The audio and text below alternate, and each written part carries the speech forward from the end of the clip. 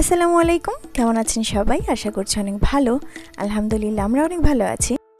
তো আজকে চলে এসেছি নিউ মার্কেটে। আর নিউ মার্কেটে এসেছি, পিৎজা খাব না তা কি হয়?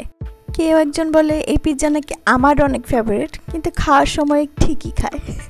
তো যাই হোক, কিন্তু আজকের এই পিৎজার টেস্টটা নিয়ে আমি খুবই হতাশ।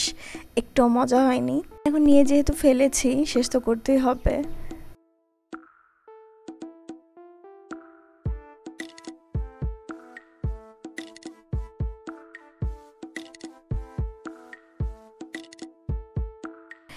খাওয়া ফাইনালি শেষ, এখন হচ্ছে শপিং এর পালা। চলুন শুরু করা যাক। প্রথমে চান্দি চক থেকে শুরু করি। যেহেতু আমি ঈদ শপিংয়ে এসেছি, সেহেতু এখন যদি আগে আমি বাহিরে ঘুরি, তাহলে অনেক উল্টাপাল্টা জিনিস কিনে ফেলব। পরে আবার বাজেট নিয়ে টানাটানি হবে। এখানে বিভিন্ন ধরনের বিভিন্ন প্রাইজের ড্রেস আছে। যেগুলো ফিক্সড প্রাইস লেখা, সেগুলো তো ফিক্সড প্রাইসই বাট যেগুলো ফিক্সড প্রাইজের না, সেগুলোতে আপনাকে প্রচুর দামাদামি করতে হবে। ওনারা তো দাম চেয়ে বসে থাকে।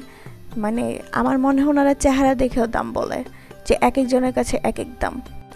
এগুলো হচ্ছে টু পিস আর এইগুলার নাম হচ্ছে দেখছেন? সারা দিন কিন্তু নাম মনে রাখি, কিন্তু এখন ভয়েস দেওয়ার সময় নামই মনে নেই। তো এগুলোর এক একটা, এক এক প্রাইস কোনোটা বাইশশো, কোনোটা সতেরোশো, আঠারোশো, এরকম। আর এটা টু পিস ছিল। তো যাই হোক, ডিজাইন ভেদের দাম এক একটার এক এক প্রাইস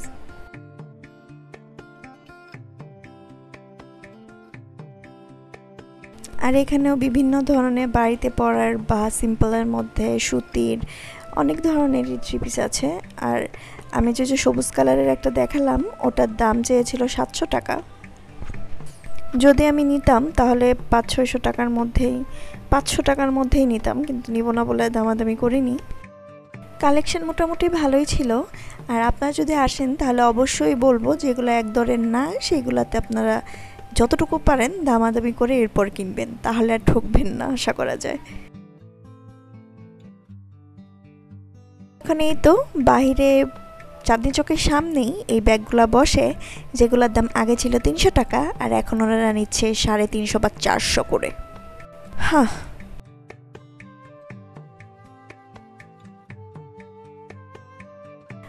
পরে আমরা ভাবলাম যে একটু নিউ মার্কেটে ওই সাইড থেকে ঘুরে আসি, আর ওভারব্রিজের উপর থেকে ক্লিপ বা ওই সেফটি পিন এইসব কিনবো। কিন্তু গিয়ে দেখে পুরাই ফাঁকা। এরকম আমি কখনোই দেখিনি যে এই ওভারব্রিজের উপরে এতটা ফাঁকা থাকে।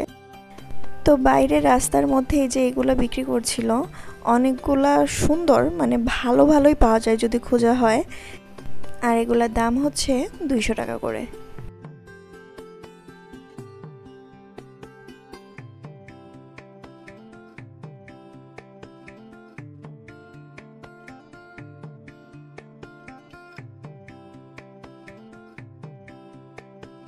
আর এটা হচ্ছে গাউসিয়ার এই সাইডে মানে চাঁদনি চকের এই সাইডে আসলে এই ড্রেসগুলোর জন্য নিউ মার্কেট আমার এতটা পছন্দের ছিল। ছিল বলছি এই কারণে, কেননা এখন এই ড্রেসগুলো আমার হয় না। ওনাদের কাছে সাইজ জিজ্ঞেস করলে ওনারা বলে ফ্রি সাইজ কিন্তু ফ্রি সাইজ বলতে যে ওনারা কী সাইজ বোঝায় সেইটাই আমি জানি না। আর এগুলোর দামও সেম দুইশো টাকা।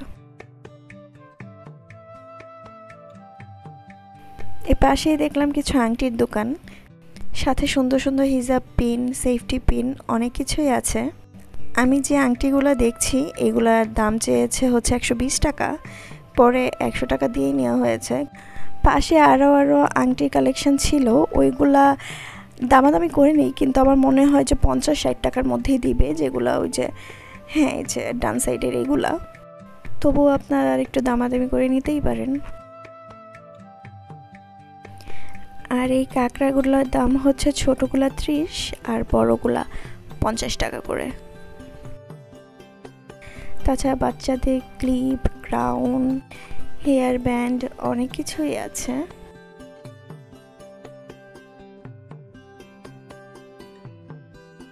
একটা সময় ছিল যখন নিউ মার্কেটের এই জুয়েলারি পাগল ছিলাম।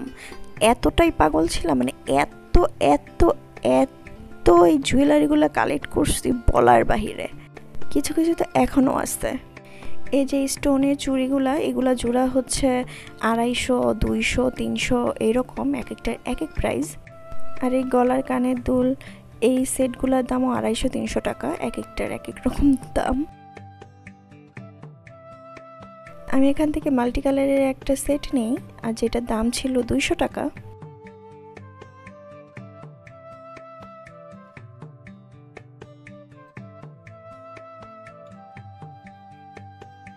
একটু সামনে যেতেই দেখি এই কানের দুলের এত এত এত কালেকশন নিয়ে বসে আছে।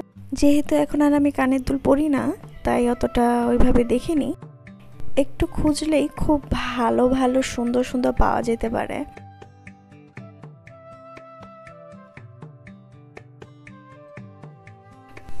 আর এখন চলে এসেছিলাম নূরজাহান মার্কেটে টপস দেখতে। এখানে টপসের অনেক ভালো ভালো কালেকশন আছে। আর প্রাইসও মোটামুটি রিজনেবলই তো এই টপসগুলোর দাম ওনারা সাতশো, সাড়ে সাতশো, সাড়ে নয়শো এরকম করে চায়। কিন্তু ফাইনালি আমি যা বুঝলাম এইগুলো চারশো টাকার মধ্যে ওনারা সেল করে। আমি একটা নিয়েছি, কিন্তু চারশো টাকার কমে আর পারিনি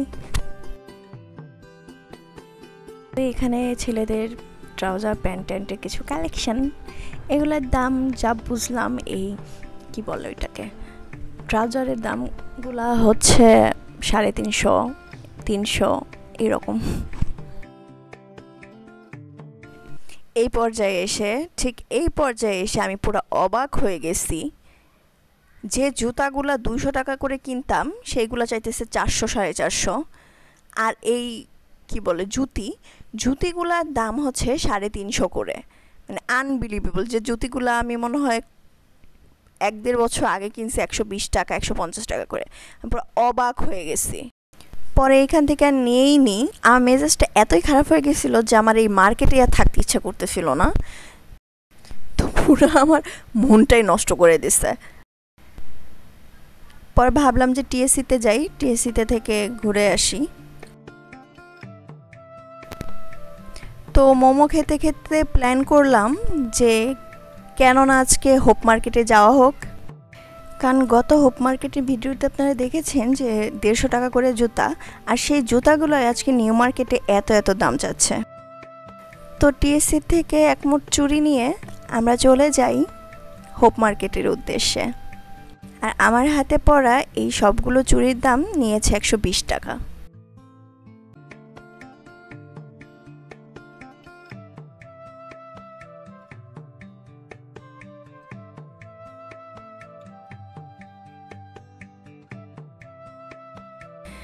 তো এই তো আমরা হোপ মার্কেটে চলে এসেছি। অনেক অনেক অনেক মানুষ ছিল।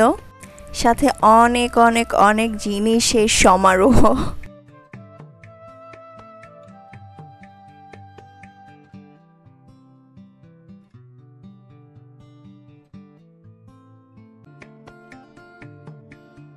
নিউ মার্কেট থেকে যে টপসটা নিয়েছি, এর জন্য একটা টাইস লাগবে। এখান থেকে একটা টাইস পছন্দ হয়েছে, যার দাম ছিল হচ্ছে দেড়শো টাকা। মাত্র আমি নিউ মার্কেট থেকে এই হিজাব উন্নাগুলো নিয়ে এসেছি দেড়শো টাকা করে, আর ওরা এখানে রাখল হচ্ছে একশো ত্রিশ টাকা। এ তো গজ কাপড়। এখান থেকে আপনার গজ কাপড় কিনে ডিজাইন করে জামাও বানাতে পারবেন।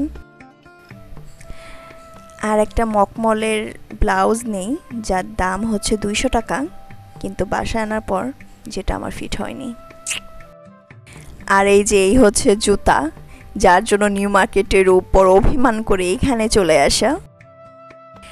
আর এই যে এই জুতাগুলোর দাম একটু বেশি, কারণ এগুলা কালেকশনগুলো আমার কাছে অনেক স্ট্যান্ডার্ড লেগেছে। তো স্পেসিফিক কিছু পোশাক ছাড়া আমার কাছে নিউ মার্কেটের চেয়ে হোপ মার্কেটই বেশি রিজনেবল মনে হয়েছে। তো আপনাদের কি মনে হয়, দামের দিক থেকে কোন মার্কেট বেশি ভালো? নিউ মার্কেট নাকি হোপ মার্কেট কমেন্টসে কিন্তু অবশ্যই জানাবেন। তো সবাই ভালো থাকবেন, সুস্থ থাকবেন, আমাদের জন্য দোয়া করবেন। দেখা হবে পরবর্তী কোনো একটা ভিডিওতে আসসালামু আলাইকুম।